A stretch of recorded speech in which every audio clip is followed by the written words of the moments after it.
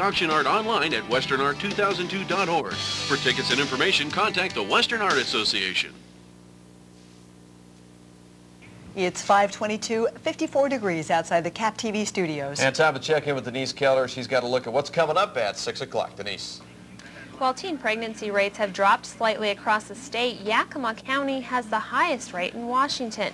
We'll look at what's being done. And do you know your HIV status? A local group wants you to find out. Those stories tonight at 6. Thanks a lot, Denise. Top Stories USA. A new agreement has both America and Russia cutting their nuclear arsenals. President Bush announced the agreement today. It calls for each country to cut its nuclear weapons to around 2,000 warheads. That's down from the 6,000 that's allowed. Bush and Russian President Vladimir Putin will sign the treaty next week at a summit in Russia. Intelligence agents have received threats. A U.S. nuclear power plant like Hanford would be a target of a July 4th terror attack. Now, it hasn't been determined if the threats are reliable enough to act on, but the government says they are being taken very seriously. In Top Stories World, former President Jimmy Carter says Washington, D.C. has no evidence that Cuba is involved with the production of biological weapons. The U.S. has accused Cuba of trying to develop these warheads. Fidel Castro denies the charge.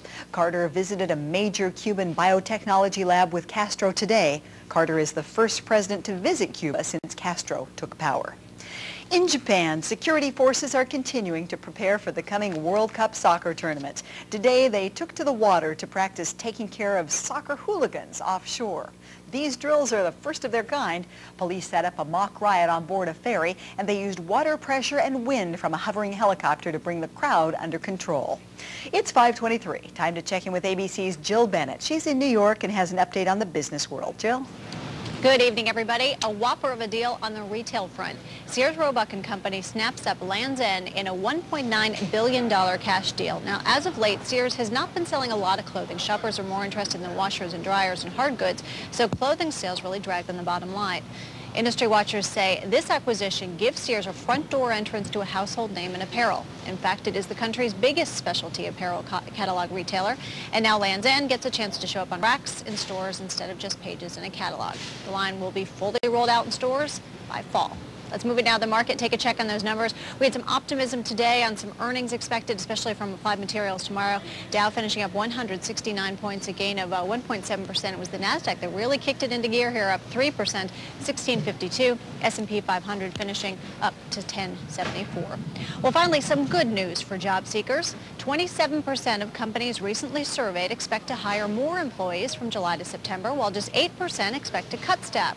The rest of the companies said they'd maintain their current staffing levels or just weren't sure. Staffing firm Manpower surveyed 16,000 firms nationwide for that poll. At the Amex, I'm Business Week reporter Jill Bennett. For more, visit abcnews.com. And while we're speaking of business, one of the biggest issues facing our local economy is the vote on the proposed Yakima Port District. Now, tomorrow night, KAPP Local News at 6 o'clock is devoting the entire half hour to informing you before you vote. You can also cast your vote on the Port District in our online poll. Just log on to our website. That's kapptv.com. Meteorologist Thom Spencer will have your travelers forecast coming up. Local seniors are showing you're never too old for a parade.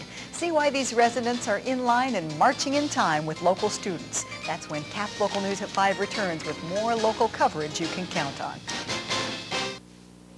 Log on to kapptv.com and talk to the expert, Shoemaker Painting your local expert for all your painting questions. Let's play, dude. Give it your best shot. Come on, come on! Hey, is that all you got? what about this one? Oh.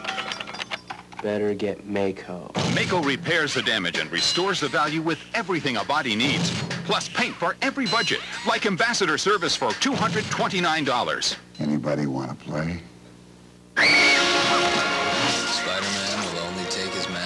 For one thing.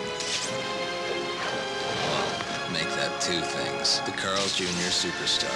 Put one in your mouth before seeing Spider-Man, only at Carl's Jr. At Quality Care Medical Clinic, our physicians talk with you, not at you, concerning your medical conditions, putting the personal touch back into seeing your doctor. Our on-site lab, x-ray, EKG, and other in-office services will save you time, money, and frustration.